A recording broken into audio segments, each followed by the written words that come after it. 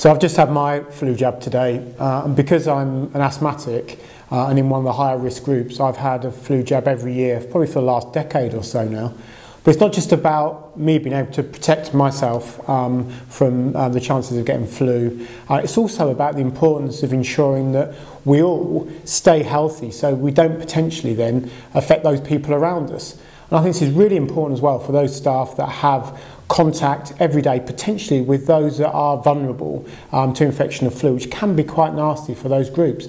So I really would say today that for everybody, certainly our staff who are out there doing a great job every day contacting those kinds of people, protect yourself, get the flu jab, but also most of all, think about the duty of care you've got to those around you as well. not just those vulnerable um, you know, patients, residents and others, but also your fellow colleagues.